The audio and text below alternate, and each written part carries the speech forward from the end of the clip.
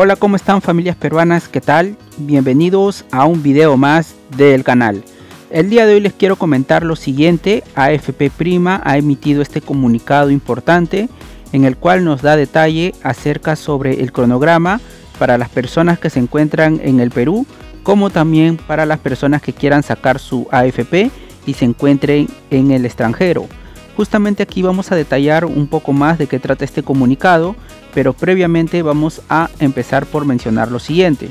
A partir del día 27 de mayo, de lunes a viernes, de 8 de la mañana a 6 de la tarde, podrás registrar tu solicitud en www.consultaretirofp.p de acuerdo a este cronograma. Como sabemos el cronograma ya lo conocemos amigos, ya le hemos difundido en otros videos, te recomiendo que le tomes un pantallazo a este video para que puedas tener el cronograma si en caso todavía no has visualizado. Recuerda que en función al último dígito de tu DNI tienes que enviar la solicitud del retiro en la fecha en el cual se te está mencionando según el cronograma y la plataforma saldría habilitada recién a partir del día 27 de mayo. Ahora sí, datos importantes con respecto a este comunicado que ha mencionado AFP Prima son los siguientes. Importante, este cronograma aplica para afiliados que viven en el Perú o en el extranjero.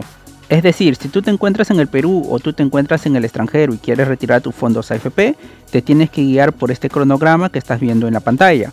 Punto número 2. Si no tienes una cuenta en una entidad financiera, también podrás registrar tu solicitud. Si no tienes cuenta, puedes registrar tu solicitud, no hay ningún problema. Recuerda que la misma plataforma también te va a indicar para que crees una cuenta si es que en caso no tienes una cuenta habilitada para recibir tus fondos AFP. Punto número 3. Si vives en el extranjero, puedes solicitar el depósito a una cuenta personal en el exterior o en el Perú. Punto número 4.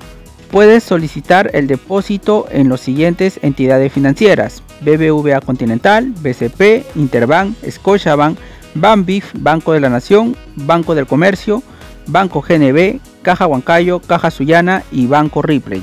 Es decir, amigos, eh, todas las entidades que he mencionado son entidades donde tú puedes recibir tus fondos AFP si perteneces a AFP Prima.